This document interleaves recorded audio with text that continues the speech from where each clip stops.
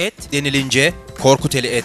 Profesyonel kadrosu ile kendi entegre tesislerinde tüm hijyen şartlarına uygun olarak kesilen Korkuteli ve Elmalı yaylalarından aldığımız büyük ve küçükbaş hayvanlarımızın kekik kokulu etleriyle sofralarınıza geliyoruz.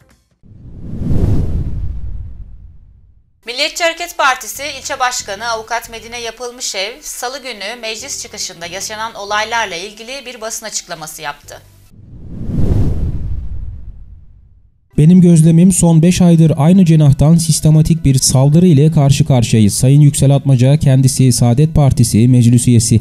Her ne kadar ülkücü olduğunu iddia edip Sayın Genel Başkanıma biz ülkücüleri sonbahar rüzgarına bıraktınız şeklinde nidada bulunmaktaysa da partimizle geçmişte de üye kaydı bulunmamaktadır. Başka bir partide siyaset yapacaksın, başka bir partinin genel başkanına şahsi sosyal medyasından liderimizi hedef almak suretiyle küçültecek şekilde istifa çağrısında bulunacak, ben Korkuteli'de genel başkanımın temsilcisiyim. Milliyetçi Hareket Partisi camiası için liderimize yapılan her türlü davranış sinir uçlarına dokunur. Sayın Atmaca'nın İstanbul seçimlerinin sonucunun belli olduğu tarih ve saatte böyle bir paylaşım yapması sinir uçlarını ayağa kaldırmak için yapılmış bir paylaşımdır. Tahrik edicidir. Kırmızı çizgimizdir. Benim gözlemimi söylüyorum. Son 5 aydır ortalama olarak, son 5 aydır sistematik olarak bir saldırıyla karşı karşıyayız. Aynı cenahtan sistematik bir saldırıyla karşı karşıyayız. Nedense ben anlamıyorum bunu. Aynı cenahtan. Şimdi Sayın Yüksel Akmaca Saadet Partisi Belediye Meclis Üyesidir kendisi. Her ne kadar ülkücü olduğunu iddia edip Sayın Genel Başkanıma biz bu ülkücüleri burada sonbahar üzerine bıraktığımız şeklinde nidada bulunmaktaysa da partimiz üyelik kayıtlarında yapmış olduğumuz araştırmalarda ne geçmişte ne bugün ne de meclis üyesi adayı olmadan evvel herhangi bir üyelik kaydı mevzu değil. Yani lider Devlet Bahçeli'ye genel başkan olarak hitap eden şu an Saadet Partisi Belediye Meclis Üyesi adayı olan Yüksel Akmaca'nın 2014'te Milliyetçi Hareket Partisi Belediye Meclis Üyesi adayı olan Yüksel Akmaca'nın ondan önce Teşkilatta yönetim kurulu üyeliği yapan Yüksel Akmaca'nın hiçbir şekilde partimizde üyelik kaydı yok. İlginç değil mi arkadaşlar? Bir parti üyelik kaydın olmayacak. O partiyle organik bir bağ kurmayacaksın. Gideceksin başka bir partiye. Onu da yedekten gireceksin. Hani meclis üyeliğinde. Gideceksin. Başka bir partide siyasi hayatına devam edeceksin. O kişi başka bir partinin siyasi parti genel başkanına sosyal medyasında, şahsi sosyal medyasında efendim doğrudan genel başkanımızın liderimizi hedef almak suretiyle küçültecek şekilde efendim liderimize karşı istifa çağrısında bulunacak. Şimdi her ne kadar Sezen Hanım'ın temsil etmiş olduğu gazetede söz konusu sosyal medya paylaşımına karşı tarafının vermiş olduğu cevap ülkücü polemiği olarak geçmiş ise de bir polemik söz konusu değil. Neden polemik söz konusu değil? Polemik demek karşılıklı atışma demektir. Biz bu kişiyle karşılıklı atışmadık. O yazdı ben yazdım, o yazdı ben yazdım olmadı ki. O bir hadsiz paylaşımda bulundu.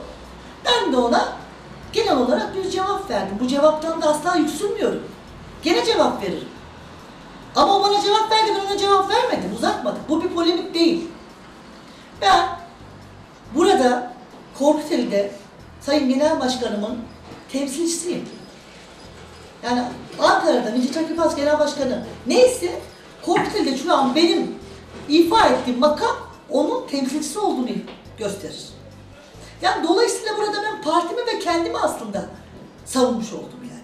Genel başkanım benim liderimdir benim kırmızı çizgimdir. Ve bu ilçe dahil olmak üzere tüm ülkede siyasi parti mensupları tarafından tarafgirlik yaptığı, taraftarlık yaptığı veya mensup olduğu siyasi parti genel başkanına karşı başka bir siyasi parti siyaset yapan bir kişinin bu şekilde küçültücü bir istifa çağrısı yapması incil ya şeydir incitir. O siyasi parti incitir. Tahrik eder. Ki Milliyetçi Hareket Partisi mensupları için Milliyetçi Hareket Partisi Genel Başkanı kırmızı çizgisi olması yanında tüm camiacı, camia için ona karşı yapılan her türlü söz, eylem, davranış sinir uçlarına dokunmaktır.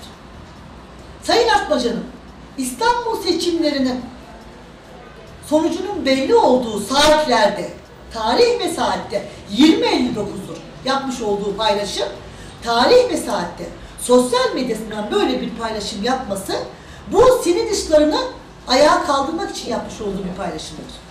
Siyasi etiğe, ahlaka uymaz. Dolayısıyla müvekkilimin sinir uçlarıyla oynanmasına kim sebebiyet vermiştir? Niçin gerek görülmüştür? Bu meclis üyesinin partisinin ilçe başkanı bu kişiyi uyarmamış mıdır? Otur oturduğun yerde demiş midir? Bu demokrasi midir? Siyaset bu kadar alçalmış mıdır? Siyaset yapmak bu kişilere mi kalmıştır? Parti parti gez, İyi Parti'de gazete manşetlerinde 15 günlük ilçe başkanı ol, 15 gün sonra kabul edilme, Milliyetçi Hareket Partisi'nde meclis üyesi gösterilme, oradan ayrıl, hala ülkücü olduğunu iddia et. Saadet Partisi'ne yani ülkücülükle tamamen ters bir çizgide olan bir partide belediye meclis üyesi adayı ol. Ondan sonra gel benim partimin genel başkanına sosyal medyada istifaya davet et. Bu ne yaman çelişkidir. Biz kimseyi tahrik etmedik. Kimsenin sinir uçlarına dokunmadık.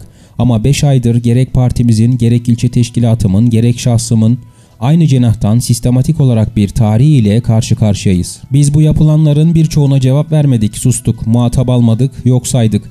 Bizim sinir uçlarımızla hiç kimse oynamasın. Biz de bu olayı sahiplenmiyoruz. Dünkü münferit olayın ne partimizle, ne teşkilatımızla, ne şahsımızla, ne de ülke ocaklarımızla bir ilgisi yoktur. Bu kadar absürt, bu kadar mesnetsiz, bu kadar müfteri konusu olabilecek bir olaydır bu. Siyasetinde karşılığını yerel seçimlerde alıyoruz. Biz siyaseti halkla iç içe yapıyoruz. Siyaseti bu şekilde yapamayanlar geliyorlar bize iftira konusu olabilecek iddialarda bulunuyorlar. Ziya Çimen Bey, MHP ilçe başkanı Medine yapılmış ev bu olaya sahip çıktı. İftira atıyor. İftira. Nasıl sahip çıkmışım bu olaya? Karakolda şüphelinin avukatı olmam olaya sahip çıkmam anlamına mı gelir?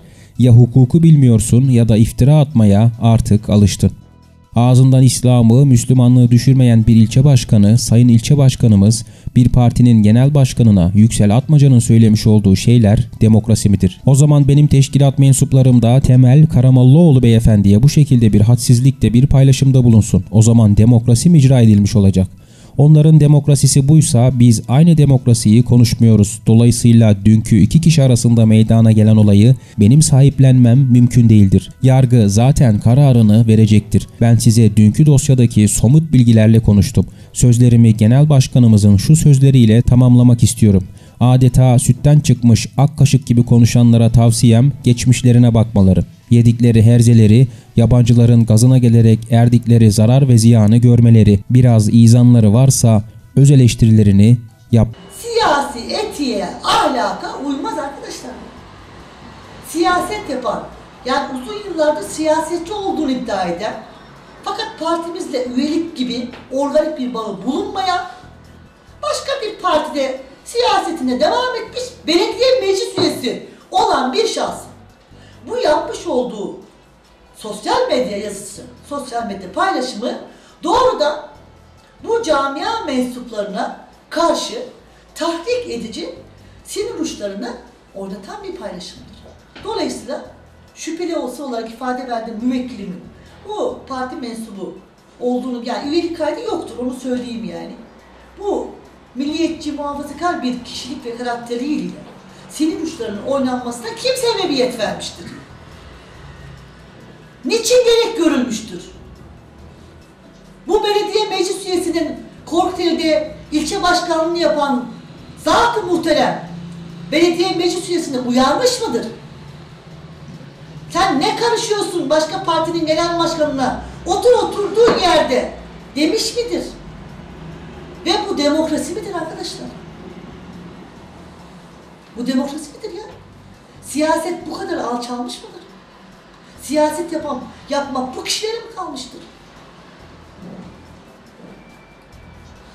Parti parti gez, İyi Parti'de 15 günlük gazete manşetinde ilçe başkanı ol.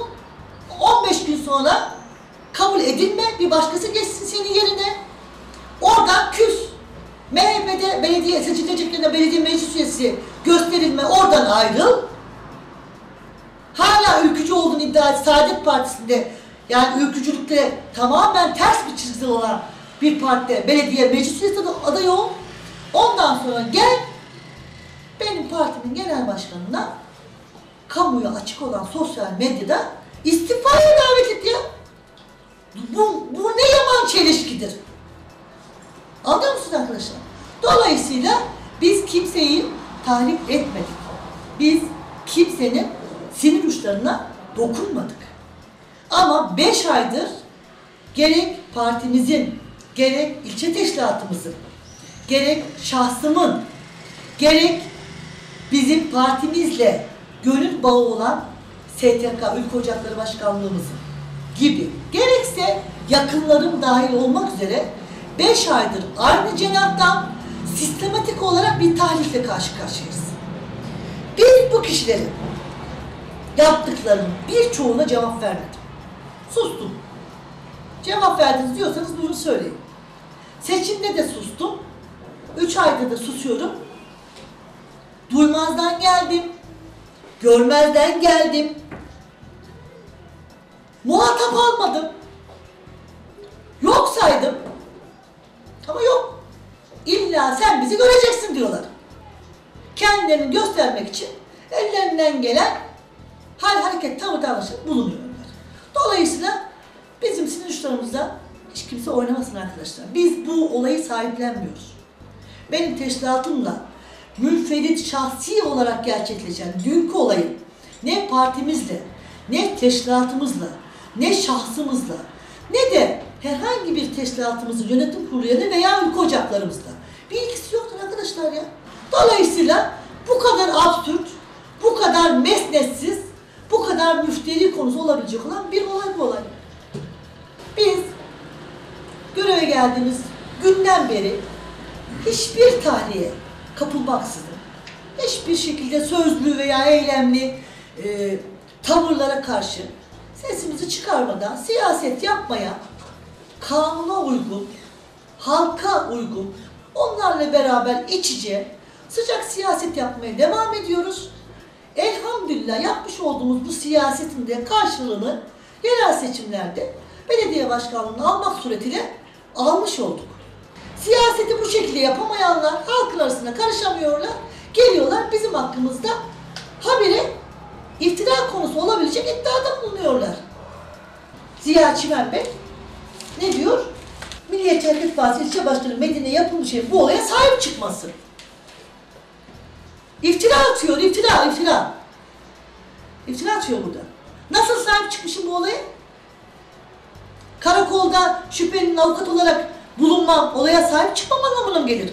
Ya hukuku bilmiyorsun ya da iftira atmaya artık alıştım. Ağzından İslam'ı, Müslümanlığı düşürmeyen bir ilçe başkanımız, sayın ilçe başkanımız. Demokrasi midir bu? Bir partinin genel başkanına karşı Yüksel Atmaca'nın söylemiş olduğu bir söylemde bulunmak demokrasi midir? O zaman benim teşkilat mensuplarım da Temel Karamoğluoğlu beyefendiye bu şekilde, bu hadsizlikte bir paylaşımda bulunsun. O zaman demokrasi mi icra edilmiş olacak? Onun anladığı demokrasi buysa biz aynı demokrasiyi konuşmuyoruz. Dolayısıyla hiçbir şekilde dün meydana gelen olayı münferit iki kişi arasında meydana gelen şahsi bir olayı benim sahiplenmem mümkün değildir. Yargı zaten kararını verecektir. Hukuki açıklamalarını sizlere yaptım. Sizi hukuki olarak yanıltmış da değilim. Dün elimdeki donelerle konuşuyorum. Yarın dosyaya farklı bir done girer. O zaman dersiniz ki varmış dersiniz. Ben dün aldığım done bilgileriyle konuştum şu an sizinle. Dosya bilgileriyle. Dün dosyaya giren somut bilgilerle konuştum. Basın açıklamamla ilgili son söze yani sonra şunla genel başkanımın dün grup toplantısı yapmış olduğu şu sözüyle cevap vermek istiyorum. Adeta sütten çıkmış ak kaşık gibi konuşanlara tavsiyem geçmişlerine bakmaları, yedikleri her zereri yabancıların gazına gelerek verdikleri zarar ve ziyanı görmeleri biraz izanları varsa öz eleştirilerini yapmalarıdır. Lider Doktor Devlet Bahçeli. Teşekkür ederim. Et denilince Korkuteli Et. Profesyonel kadrosu ile kendi entegre tesislerinde tüm hijyen şartlarına uygun olarak kesilen Korkuteli ve Elmalı yaylalarından aldığımız büyük ve küçükbaş hayvanlarımızın kekik kokulu etleriyle sofralarınıza geliyoruz.